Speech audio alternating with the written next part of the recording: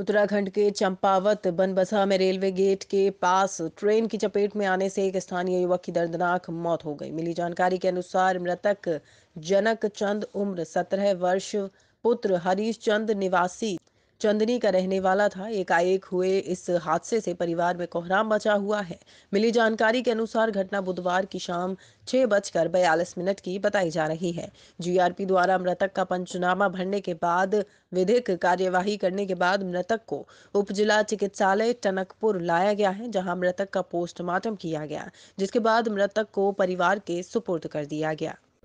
काम ढूंढते बोल के अपने मम्मी के पास से गया वो काम ढूँढने के लिए गया। लेबरी में यूपी से ठेकेदार ठेकेदार आते थे। उनके साथ काम करने के लिए लेबरी के दो चार दिन करता हूँ बोल के गया था वो यहाँ से घर से।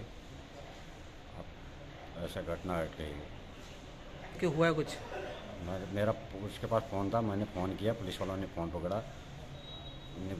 बताया कि आपके लड़के के पहले तो फ़ोन गिरा हुआ मिला बोल के बोला बाद में पुलिस वालों ने बोला कि चोट लगी है यहाँ आ जाओ आप बोला पुलिस वालों ने। बनबसा थाने में? बनबसा हम्म, स्टेशन में। अच्छा। फिर वहाँ पर आपने जाके क्या देखा? वहाँ पर देखा लाश पड़ी हुई देखा।